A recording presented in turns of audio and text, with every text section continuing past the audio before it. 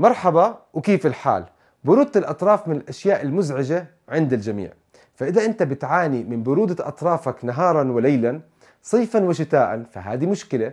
فاكتب لي بالتعليقات إذا أنت بتعاني من برودة أطرافك. فبرودة الأطراف مش معناها أنه الطقس بارد هي مشكلة موجودة داخلك.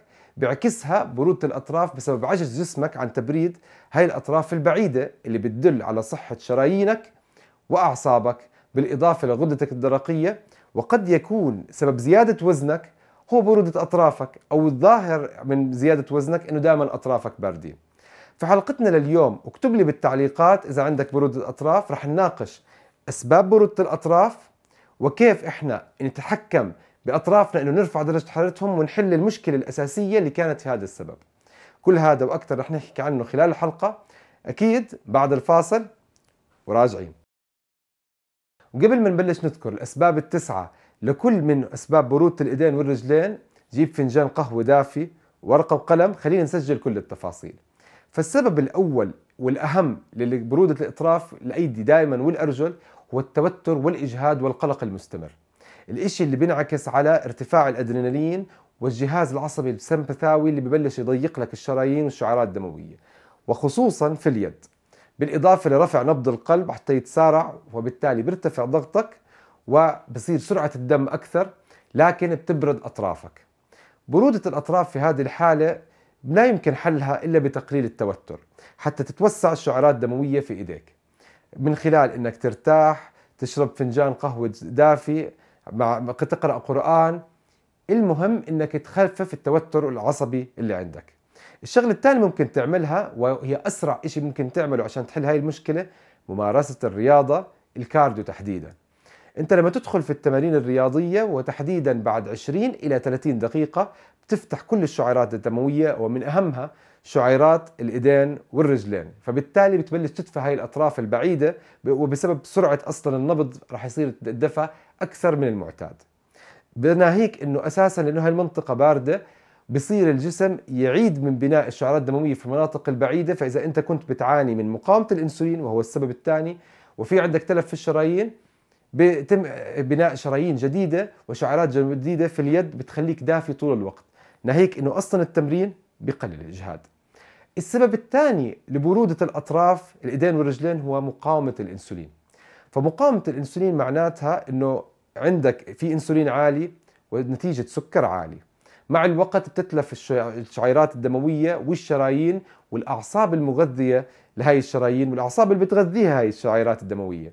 فبالتالي بتبطل عندك قدرة لنقل الدم الدافي إلى هاي الأطراف بكفاءة كالمعتاد أو بالإضافة أنه هذا الشخص نفسه ارتفاع الأنسولين بخفض له الغدة الدرقية وكل خلاياه اللي بتنتج الطاقة عند مقاومة الأنسولين ما هي قادرة إنها تعمل طاقة اللي تدفي الجسم اللي يقدر ينقلها الدم من مكان إلى آخر.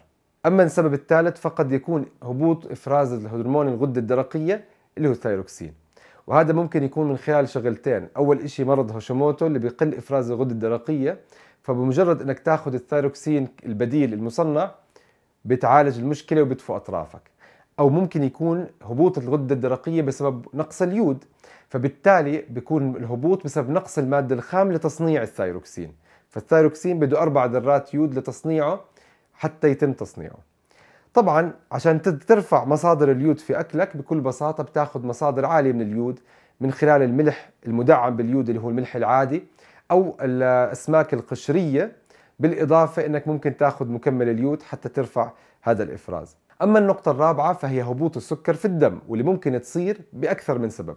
أول شيء أنت عم تعمل صيام متقطع طويل بنتج عنه هبوط للسكر فبالتالي بهبط الحرق وبتحسس إنه أنت طاقتك أقل وبالتالي برودة في الأطراف.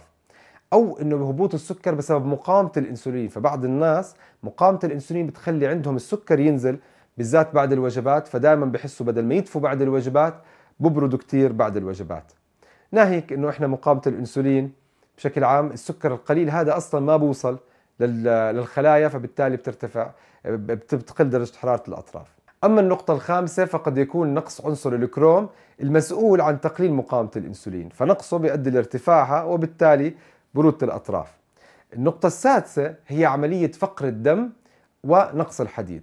فبالذات السيدات اللي عندهم دورتهم الشهرية عالية ونزيفهم كثير بصير عندهم نقص في الحديد وبالتالي فقر في الدم.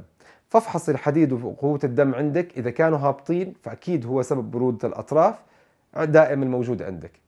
بكل بساطة بنروح على اللحمة الحمراء أعلى مصدر للحديد في أكلك الكبدة. تاخذي مكمل الحديد اللي بيعطيك إياه دكتورك غالبا حيعطيكي 50 ملي جرام حبة واحدة وما تخليها مع الأكل حتى ما يصير في هبوط بالزنك. أضف إلى ذلك إنك ممكن تاخذي ال folic acid وال B12 ال B12 وال folic acid ما بيأثروا على تصنيع كريات الدم على الحديد في الجسم لكن بيأثروا على تصنيع كريات الدم الحمراء بالموجود فيها اللي هي الحديد والهيموغلوبين.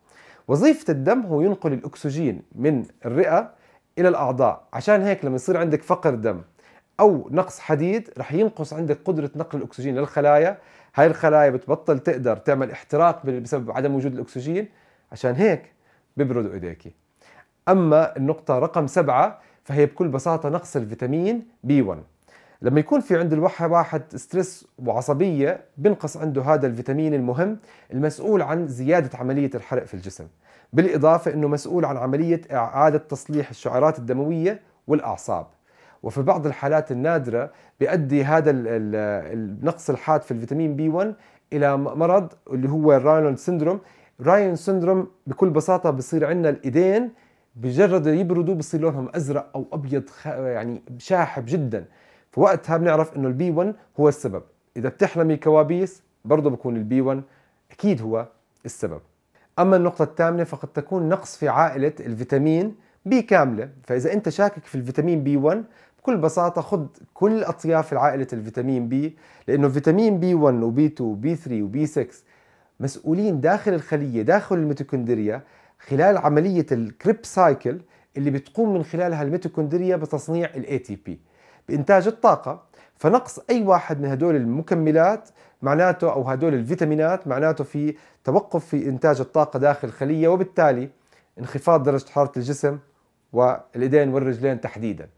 النقطة الأخيرة اللي هي النقطة التاسعة بنحكي عن نقص عنصرين الزنك والسيلينيوم هدول العنصرين الأساسيين في عملية تصنيع هرمون الثيروكسين بشكله الفعال T3 من خلال المساهمة في تحويل ال T4 اللي فيه أربع ذرات من اليود إلى T3 اللي هي ثلاث ذرات من اليود. لما يكون عندك نقص في الزنك والسيلينيوم بتلاحظ إنه في تكسر في في الأظافر بتلاحظ إنه مناعتك منخفضة بتلاحظ إنه حتى مقاومة الإنسولين عندك بتزيد. فوقتها بإمكانك تاخذ الزنك بحدود ال 25 ملي جرام يوميا والسيلينيوم بحدود ال 250 مايكرو جرام في اليوم. كل هذا رح يؤدي إلى زيادة إنتاج التايروكسين عندك زيادة حرارة الجسم وسرعة نزول الوزن.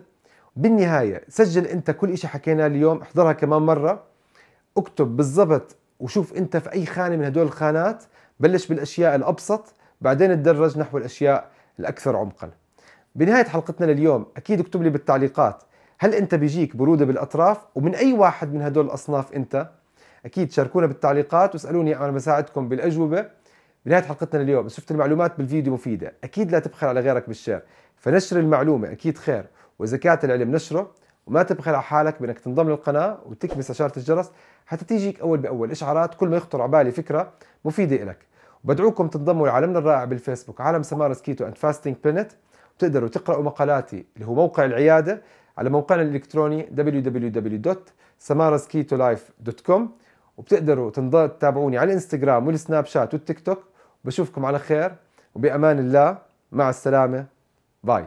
ودمتم سالمين.